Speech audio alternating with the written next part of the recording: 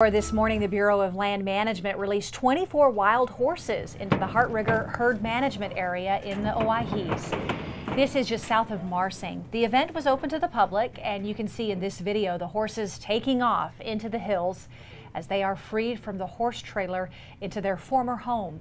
These were some of the 279 horses that were rounded up after the soda fire scorched 436 square miles of grassland and rangeland in 2015.